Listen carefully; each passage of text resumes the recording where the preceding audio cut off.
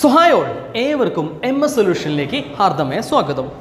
ഇതേതാ പുതിയൊരാൾ കണ്ടുവരിച്ചല്ലോ എന്നൊക്കെയാണോ? ഷുഹേബ് സർ എവിടെ പോയി എന്നാണോ ഷുഹേബ് സർ ഇവിടെ തന്നെ ഉണ്ട് എന്റെ പേര് അഖിലേഷ് എന്നാണ്. ഫിസിക്സ് ആണ് നമ്മൾ എടുക്കുന്ന സബ്ജക്റ്റ് കേട്ടോ. അപ്പോൾ സാർ എന്റെ ബെസ്റ്റ് ഫ്രണ്ടാണ് സാർ പറഞ്ഞു എന്നോടൊരു വീഡിയോ ചെയ്യാൻ പറ്റുമെന്ന് ചോദിച്ചു. സന്തോഷമുള്ള കാര്യമാണ്. ഇതേപോലെ ഇന്ന് കേരളം മുഴുവൻ അറിയപ്പെടുന്ന ഒരു ചാനലിൽ എന്റെ മുഖം വരിക എന്ന് പറയുന്നത് സന്തോഷമുള്ള കാര്യമാണല്ലേ? പിന്നെ എനിക്കൊരു ചാനലൊക്കെ ഉണ്ട് കേട്ടോ. എന്റെ ചാനലിന്റെ പേര് ഒരു കൊച്ചു ചാനലാണ്. ചാനലിന്റെ പേര് ഐ ട്യൂട്ടർ എന്നാണ്.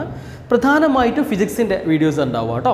നമ്മൾ ഇന്ന് എടുക്കാൻ പോകുന്ന വീഡിയോ നിങ്ങൾ കണ്ടതിന് ശേഷം ക്ലാസ്സൊക്കെ ഇഷ്ടമാവുകയാണെന്നുണ്ടെങ്കിൽ ഇതിന് ഡിസ്ക്രിപ്ഷൻ ബോക്സിൽ എന്റെ ചാനലിന്റെ ലിങ്ക് ഒന്ന് ജസ്റ്റ് കൊടുത്തിട്ടുണ്ട്.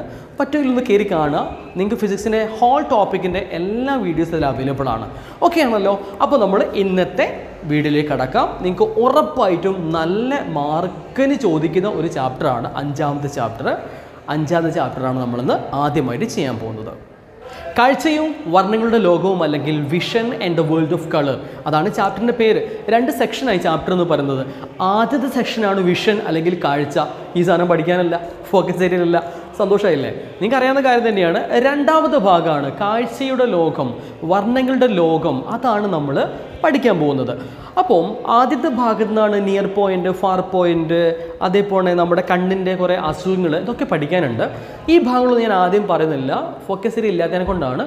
പക്ഷെ അവിടുന്ന് നമ്മൾ ചോദ്യം എക്സ്പെക്റ്റ് ചെയ്യണം. എന്നിരുന്നാലും ഞാനിത് അവസാന ഭാഗത്തേക്ക് ഈ വീഡിയോന്റെ അവസാന ഭാഗത്തേക്ക് അത് ഞാൻ പറയുന്നതായിരിക്കും. ഓക്കെ ഇപ്പം നമുക്ക് എങ്ങോട്ടേക്ക് പോവാം? ഈ ചാപ്റ്റർ നമ്മൾ ആദ്യമായിട്ട് പഠിക്കുന്ന പ്രധാനപ്പെട്ട ഭാഗത്തിലേക്ക് പോവാം. അതിന്റെ പേരാണ് ഡിസ്പേഷൻ അല്ലെങ്കിൽ പ്രകീർണനം. കേട്ടിട്ടുണ്ടാവും അല്ലേ? വളരെ പ്രധാനപ്പെട്ടൊരു ഒരു ചോദ്യം തന്നെ ഇവിടെ നിങ്ങൾ പ്രതീക്ഷിക്കണം. നിങ്ങൾക്ക് എല്ലാവർക്കും അറിയാം നമ്മൾ പുറത്തേക്ക് നോക്കുന്ന സമയത്ത് പകൽ സമയത്ത് നോക്കുന്ന സമയത്ത് നമ്മൾ സൂര്യപ്രകാശം കാണുന്നുണ്ട് അല്ലേ?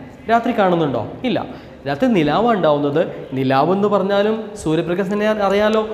സൂര്യപ്രകാശം നേരെ ചന്ദ്രനെ തട്ടി നമ്മുടെ ഭൂമിയിലേക്ക് പ്രതിഫലിച്ചു വരിക ചെയ്യുന്നത് അതാണ് നിലാവ് എന്ന് പറയുന്നത്. അത് പോട്ടെ. അപ്പോൾ നമ്മൾ പകൽ സമയത്ത് നോക്കുന്ന സമയത്ത് നമ്മുടെ സൂര്യപ്രകാശത്തിന് ഏതെങ്കിലും സ്പെഷ്യലായ കളറുകൾ കാണാറുണ്ടോ? ഇല്ല അല്ലേ? നമ്മൾ ധവള പ്രകാശം അല്ലെങ്കിൽ വൈറ്റ് ലൈറ്റ് എന്നാണ് പറയാം. But we know that sunlight is a component mixer of seven colours സൂര്യപ്രകാശം എന്ന് പറഞ്ഞാൽ ഏഴ് ഘടക വർണങ്ങൾ ചേർന്നിരിക്കുന്ന ഒരു കമ്പോസിറ്റ് കളർ കമ്പോസിറ്റ് കമ്പോസിറ്റ് ഷേ കോമ്പോസിറ്റ് കളർ എന്നാണ് പറയാം. സമന്വിത പ്രകാശം എന്ന് പറയും. എന്താണ് ഇങ്ങനെ പറഞ്ഞാൽ രണ്ടോ അതിലധികമോ വർണങ്ങൾ കൂടി ചേർന്ന നിറമാണെന്ത്? അല്ലെങ്കിൽ പ്രകാശമാണെന്ത്? കോമ്പോസിറ്റ് ലൈറ്റ് എന്ന് പറഞ്ഞാൽ it is made up of two or more colours okay അപ്പോൾ അത് നിങ്ങൾ ആദ്യം തന്നെ പഠിച്ചു വെക്കണം. എന്താണ് കോമ്പോസിറ്റ് ലൈറ്റ് എന്ന് പഠിച്ചു വെക്കണം. ഈ കോമ്പോസിറ്റ് ലൈറ്റിന് പ്രത്യേകത ഉണ്ട്. നമ്മുടെ സൂര്യപ്രകാശം ഒരു കോമ്പോസിറ്റ് ലൈറ്റാണ് എക്സാമ്പിൾ വെച്ച് അത് എഴുതണം. ചിലപ്പോൾ ചോദിക്കാം. കേട്ടോ? നിങ്ങൾ ഇത്ര ആലോചിച്ച് നിങ്ങൾ പട്ടാളക്കാരെ മാർച്ച് കണ്ടിട്ടുണ്ടോ? പട്ടാളക്കാരെ എങ്ങനെയാണ് പോവുക? അവർ ഒരേ സ്പീഡിലാണ് പോവുക. അവരിങ്ങനെ കറക്റ്റായിട്ട് ഒരേ സ്പീഡിൽ ഇങ്ങനെ പോവല്ലേ ചെയ്യുക അപ്പോൾ നിങ്ങൾ മാർച്ച് കണ്ട ആൾക്കാരാണെന്നുണ്ടെങ്കിൽ നിങ്ങൾ ഇവിടെ കുറേ പട്ടാളക്കാരുണ്ടാവും. പക്ഷെ നമ്മൾ ആദ്യത്തെ പട്ടാളക്കാരനെ മാത്രമേ കാണുള്ളൂ. എന്തുകൊണ്ടാ? ഈ ഇവിടെയെല്ലാം മുഴുവൻ ആൾക്കാരും ഒരേപോലെയാണ് ഈ കൈ ഇങ്ങനെ വീശുക കാലിങ്ങനെ ഓർത്തൊക്കെ ചെയ്യാം. അപ്പം നമ്മൾ ഒറ്റ ആളെ കാണുന്നുള്ളൂ. എന്താ അവിടുന്ന് മനസ്സിലായത്? ഈ പട്ടാളക്കാരെല്ലാവരും ഒരേ വേഗത്തിലാണ് പോകുന്നതെങ്കിൽ നമ്മൾ ഒറ്റ സിംഗിൾ ആയിട്ടാണ് ഒരു സിംഗിൾ റോ ആയിട്ട് മാത്രമേ കാണുള്ളൂ. വേറെ ആരെയും കാണാൻ പറ്റില്ല. അതേപോലെ തന്നെ പ്രകാശവും. പ്രകാശം ഒരേ വേഗതയിലാണ് പോകുന്നത് മാധ്യമങ്ങളിലൂടെ. എല്ലാ മാധ്യമത്തിലൂടെ അല്ല. അതുകൊണ്ട് ഞാൻ പറഞ്ഞു വരുന്നത്.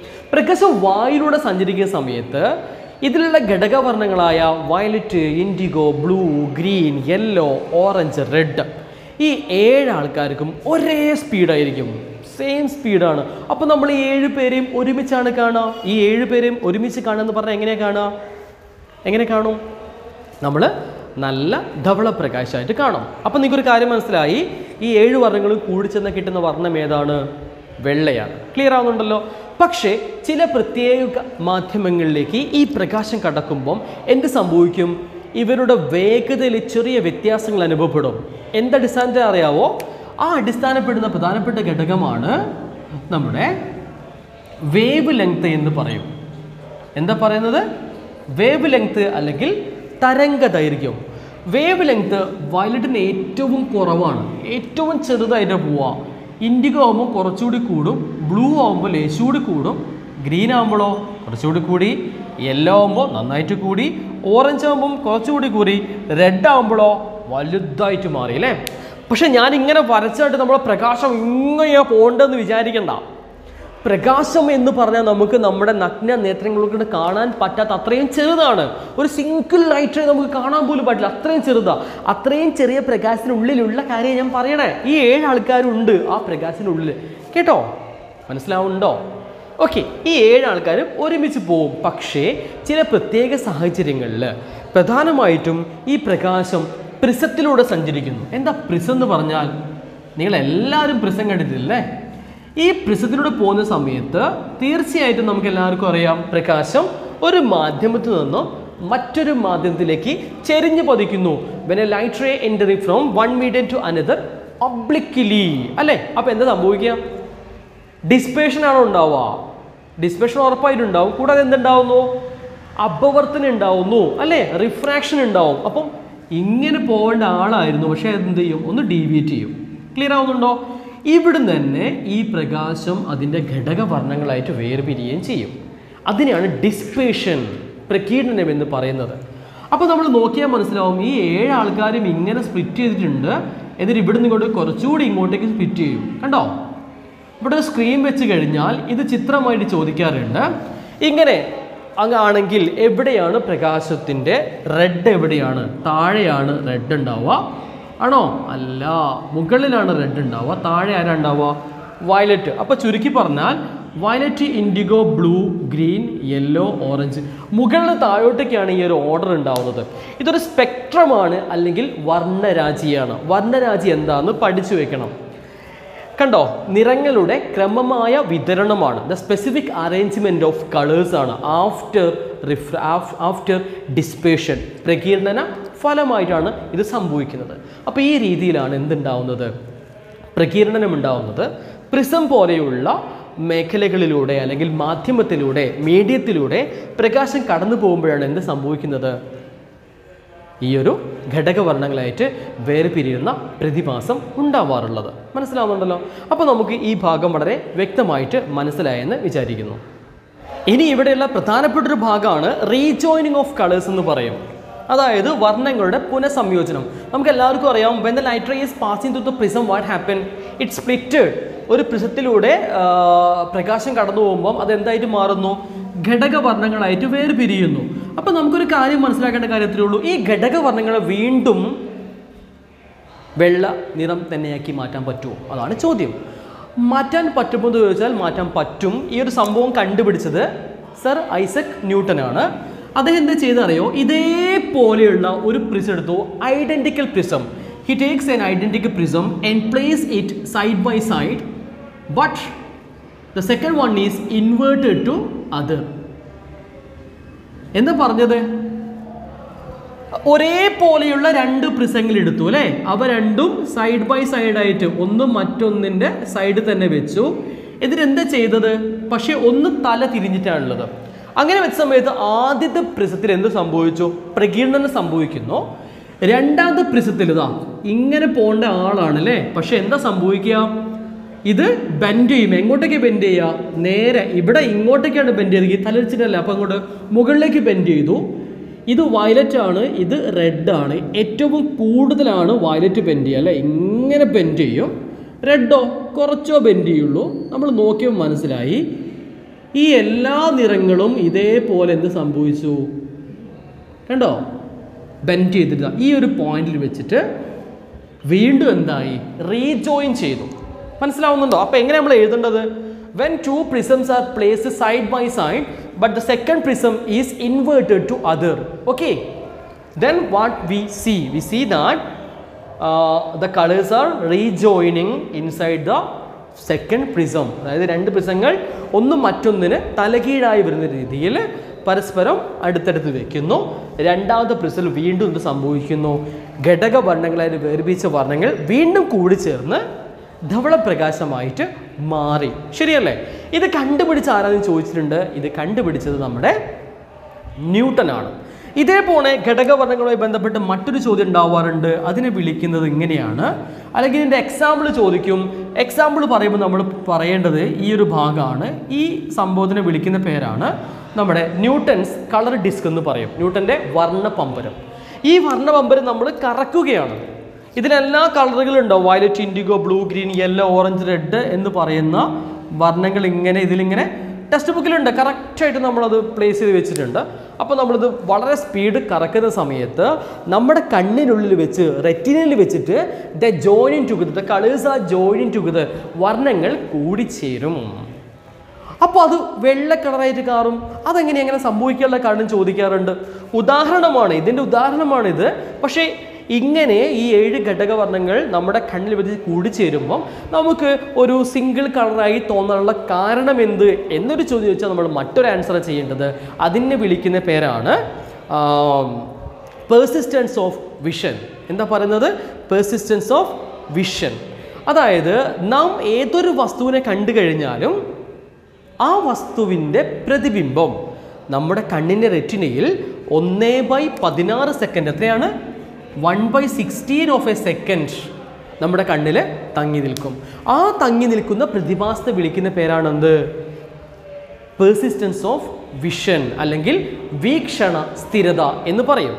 മനസ്സിലാവുന്നുണ്ടോ? ആദ്യം നമ്മൾ ഇത് കറക്കുന്ന സമയത്ത് എല്ലാ വർണങ്ങളും നമ്മുടെ കണ്ണിൽ അവിടെ ഉണ്ട് അല്ലേ വേണമെങ്കിൽ ഇങ്ങനെ ആലോചിക്കുക. ആദ്യം വയലറ്റ് കണ്ണിൽ വന്നു പിന്നെ ഇൻഡിഗ് വരുന്നു ബ്ലൂ വരുന്നു ഗ്രീൻ വരുന്നു. ഇതെല്ലാം കൂടി നമ്മുടെ കണ്ണിൽ ഉൾക്കൊണ്ട് മിക്സ് ചെയ്യും. എങ്ങനെ മിക്സ് ചെയ്യും? ഒന്നേ ബൈ പതിനാറ് സെക്കൻഡ് ഓരോ വർണങ്ങളും നമ്മുടെ കണ്ണിൽ തങ്ങി നിൽക്കും.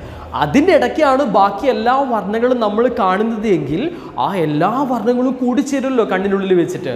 അപ്പോൾ നമുക്ക് വെള്ള കളറാണ് കിട്ടുക. മനസ്സിലാവുന്നുണ്ടോ? സോ ഇതാണ് പേഴ്സിസ്റ്റൻസ് ഓഫ് വിഷൻ അപ്പോൾ ഇതും പ്രധാനപ്പെട്ടൊരു ഭാഗമാണ്. ഇവിടുന്ന് ധാരാളം ചോദ്യങ്ങൾ നിങ്ങൾ ഇപ്രാവശ്യം എക്സ്പെക്റ്റ് ചെയ്യണം. ഓക്കെ അപ്പോൾ നമുക്കിനി അടുത്ത ഭാഗത്തിലേക്ക് പോവാം. നെക്സ്റ്റ് ടോപ്പിക്കാണ് റെയിൻബോ അല്ലെങ്കിൽ മഴവില്ല്. നമ്മൾ കാണുന്ന ഭൂമിയിൽ കാണുന്ന ഏറ്റവും മനോഹരമായ പ്രതിഭാസമാണ് എന്ത്? മഴവില്ല്. ഈ മഴവിൽ ഉണ്ടാവാനുള്ള കാരണം എന്താണെന്ന് ചോദിച്ചാൽ നിങ്ങൾ ആദ്യം തന്നെ എഴുതേണ്ടത് മൂന്ന് കാര്യങ്ങളാണ് എഴുതേണ്ടത്. പ്രകീർണനം മാത്രമാണോ സംഭവിക്കുന്നത്? ഏറ്റവും പ്രധാനപ്പെട്ട കാര്യം പ്രകീർണനം അല്ലെങ്കിൽ ഡിസ്പെഷൻ തന്നെയാണ്. പിന്നെ അവിടെ തന്നെ റിഫ്രാക്ഷൻ അഭ്യർത്ഥന നടക്കുന്നുണ്ട്. കൂടാതെ ഒരു കാര്യം കൂടി സംഭവിക്കുന്നത് ഏതാണ്? അതാണ് പൂർണാന്തര പ്രതിപതനം അല്ലെങ്കിൽ ടോട്ടൽ ഇന്റേണൽ റിഫ്ലക്ഷൻ നോക്കൂ നിങ്ങൾക്ക് ഈ ചിത്രം തന്നതിന് ശേഷം ഇത് ഓരോരോ ഘട്ടങ്ങളായിട്ട് ചോദിക്കാറുണ്ട്. നോക്കൂ ഇവിടെ എ എന്ന് പറയുന്ന ഭാഗം ഇത് ബി ഇത് സി ഇങ്ങനെ മൂന്ന് ഭാഗങ്ങളായിട്ട് തരുന്നു. എന്നിട്ട് ചോദിക്കുകയാണ് എയിലും ബിയിലും സിയിലും നടക്കുന്ന പ്രതിഭാസങ്ങൾ എന്തൊക്കെയെന്ന് ചോദിക്കും. അപ്പോൾ നമ്മൾ നോക്കണം പ്രകാശം വരുന്നു ഇതെന്താണ്? നമുക്ക് എല്ലാവർക്കും അറിയാം ജലഗണികയാണ് അല്ലേ? ഈ ജലഗണികയിലൂടെ പ്രകാശം ജലഗണിക എന്ന് പറഞ്ഞാൽ ഇത്തിരി ഉണ്ടാവുള്ളൂ കേട്ടോ നമുക്ക് കാണാൻ പോലും പറ്റില്ല. അത്രയും ചെറുതാണ്. ഞാൻ ഞാൻ നിങ്ങൾക്ക് കാണാൻ വേണ്ടി വലുതാക്കി വരച്ചതാണ് ഇവിടെ. ഓക്കെ സോ എയിലും ബിയിലും സിയിലും എന്തൊക്കെ നടക്കുന്നു? അതാണ് ആദ്യമായി ചോദിക്കാനുള്ളത്. അപ്പോൾ എയിൽ നടക്കുന്ന കാര്യങ്ങൾ എന്തൊക്കെയാണ് നമുക്ക് നോക്കാം. എയിൽ നടക്കുന്ന രണ്ട് കാര്യങ്ങൾ നടക്കും. ഏതൊക്കെയാണ്? ഒന്ന് അപവർത്തനം നടക്കുന്നുണ്ട്. റിഫ്രാക്ഷൻ അപവർത്തനം അല്ലെങ്കിൽ നടക്കുന്നു? റിഫ്രാക്ഷൻ കൂടാതെ എന്താ ചെയ്യുന്നത്? ഇവിടെ ഘടകവർണങ്ങളായിട്ട് വേർപിരിയുന്നുണ്ട് അല്ലേ? അതായത് പ്രകീർണനം അല്ലെങ്കിൽ പ്രകീർണം സംഭവിക്കുന്നു. ഡിസ്പേഷൻ നടക്കുന്നുണ്ട്. ഈ രണ്ട് കാര്യം ഇവിടെ മനസ്സിലാക്കി വെക്കണം ഇനി ബി എന്ന് പറഞ്ഞപ്പോൾ നടക്കുന്ന കാര്യം എന്താ നോക്കണം? ബിയിൽ ഇതാ പ്രകാശം അങ്ങോട്ട് പോവാതെ തിരിച്ചു വരില്ല. അതേ മാധ്യമം തിരിച്ചു വരികയല്ലേ? അതിനെ വിളിക്കുന്ന പേരാണ് ടോട്ടൽ ഇന്റേണൽ റിഫ്ലക്ഷൻ അല്ലെങ്കിൽ പൂർണാന്തര പ്രതിപതനം ഇനി സി എന്ന് പറയുന്ന ഭാഗത്ത് നോക്കണം. എന്താ നടക്കുന്നത്? ഇവിടെ വേറൊന്നും സംഭവിക്കുന്നില്ല. ഒരു മാധ്യമത്തിൽ നിന്ന് മറ്റൊരു മാധ്യമത്തിലേക്ക് കടക്കുകയാണ്.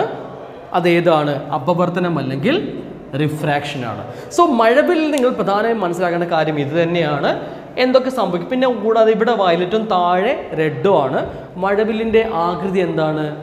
അർദ്ധവൃത്താകൃതിയാണെന്ന് മനസ്സിലാക്കി വെക്കണം. എന്തുകൊണ്ട് അർദ്ധവൃത്താകൃതി ഉണ്ടെന്ന് ചോദിച്ചു കഴിഞ്ഞാൽ നിങ്ങൾ ചെയ്യേണ്ട എഴുതേണ്ട കാര്യം ഇത്രയേ ഉള്ളൂ. ഓരോ നിറങ്ങളും നമ്മുടെ ദൃഷ്ടിരേഖയുമായിട്ട് ഒരു കൃത്യമായ കോണളവ് സൃഷ്ടിക്കുന്നുണ്ട്.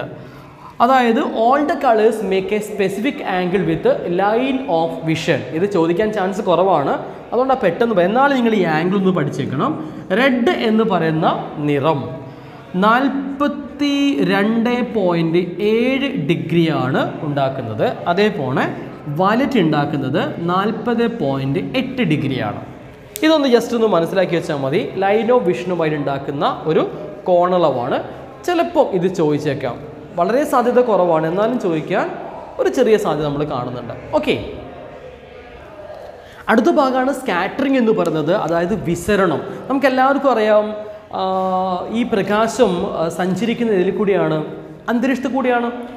And the atmosphere is fulfilled with dust particles നമ്മുടെ അന്തരീക്ഷം എന്ന് പറഞ്ഞാൽ ധാരാളം പൊടിപടലങ്ങളുടെ ഒരു ഭാഗമാണ്. ഈ ഇതൊരു പൊടിപടലാണെന്ന് വിചാരിക്കണേ ഒരു ചെറിയ പൊടിപടലം. ഈ ചെറിയ പൊടിപടലത്തിലേക്ക് പ്രകാശമാണ് വരുന്നത്. പ്രകാശം ഇങ്ങനെ സഞ്ചരിച്ചുകൊണ്ടിരിക്കുകയല്ലേ? അങ്ങനെ വരുന്ന സമയത്ത് തരംഗദൈർഘ്യം കുറഞ്ഞ അതായത് ഷോ ലോവസ്റ്റ് വേവ് ലെങ്തിലെ വയലറ്റ് ഈ കണികയുമായിട്ട് കൂട്ടിയിടിക്കാനുള്ള ചാൻസ് വളരെ കൂടുതലാണ്. കണ്ടോ? കൂട്ടിയിടിക്കാനുള്ള ചാൻസ് വളരെ കൂടുതലാണ്. പക്ഷെ അതേ സമയത്ത് റെഡാണ് വരുന്നതെങ്കിലോ റെഡ് കൂട്ടിയിടിക്കാനുള്ള ചാൻസ് വളരെ കുറവാണ് ഞാൻ നേരത്തെ പറഞ്ഞു എന്താണ് വേവ് ലെങ്ത് എന്ന് പറഞ്ഞു അല്ലേ? സോ ഇങ്ങനെ ഏറ്റവും കൂടുതൽ കൂട്ടിയിടി ഉണ്ടാവുക തരംഗദൈർഘ്യം കുറഞ്ഞ ആൾക്കാരാണ്. അതായത് ഇൻഡിഗോ പോയാൽ ചിലപ്പോൾ കൂട്ടിയിടിക്കും ബ്ലൂ പോയാലും കൂട്ടിയിടിക്കും അല്ലേ? അപ്പം കൂട്ടിയിടി വളരെ കുറഞ്ഞ ആൾക്കാർക്ക് ഉള്ളൂ പകുതിയോളം ആൾക്കാർ കൂട്ടിയിടി ആകെ മൊത്തം ഏഴാണുള്ളത് അതിൽ മൂന്ന് പേർക്ക് എന്തായാലും കൂട്ടിയിടി ഉണ്ടാവും. ബാക്കിയുള്ള നാല് പേർക്ക് കൂട്ടിയിട്ട് വളരെ കുറവായിരിക്കും.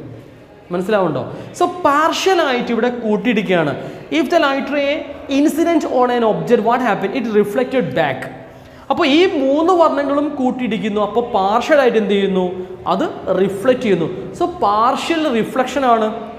കൂടാതെ ഇത് സ്പെസിഫിക് അല്ല. കണ്ടോ? തോന്നിയപ്പോഴെയാണ് റിഫ്ലക്റ്റ് ചെയ്ത് പോരുന്നത്. സ്പെസിഫിക് അല്ല. കൃത്യമല്ലാത്തതാണ്. അപ്പോൾ നമുക്ക് എന്ത് പറയാം? കൃത്യമല്ലാത്തതും ആ, പിന്നെ എന്താ പറയുക പകുതി അല്ലേ? ആ രീതിയിലുള്ള ഒരു കൂട്ടിയിട്ട് സംഭവിക്കുന്നു വർണങ്ങൾക്ക്. The partial and undefinite or incomplete reflection of light ray is known as scattering അതാണ് വിസരണം എന്ന് പറഞ്ഞാൽ ഈ വിസരണം മൂലം ആർക്കാണ് ഏറ്റവും കൂടുതൽ കൂട്ടിയിട്ട് സംഭവിക്കുന്നത്? മൂന്ന് കളറുകളാണ് വയലറ്റ് ഇൻഡിഗോ ബ്ലൂ എന്നീ കളറുകൾക്കാണ് കൂടുതൽ കൂട്ടിയിടി ഉണ്ടാകുന്നത് അപ്പം ഇവരെന്ത് ചെയ്യും ആകാശം മൊത്തം പരക്കും. ഇങ്ങനെ ആകാശം മൊത്തം പരക്കുന്നതിനെ കൊണ്ടാണ് നമ്മുടെ ആകാശം നീല കളറിൽ കാണപ്പെടുന്നത്. മനസ്സിലാവുന്നുണ്ടോ? അതായത് അന്തരീക്ഷത്തിൽ കൂടി തരംഗദൈർഘ്യം കുറഞ്ഞ വർണങ്ങളായ വയലറ്റ് ഇൻഡിഗോ ബ്ലൂ എന്നിവ സഞ്ചരിക്കുമ്പോൾ കണികകളുമായി കൂട്ടിയിടിച്ച് അവ ആകാശത്തിൽ പരക്കുന്നു. അങ്ങനെ പരക്കുന്നതിനെ കൊണ്ടാണ് എന്ത് സംഭവിക്കുന്നത്? ആകാശം നീല കളറിൽ കാണപ്പെടുന്നത്. When the light rays passes through the atmosphere it collide with dust particles and ഏത് ലൈറ്റ് റേ ആണ്?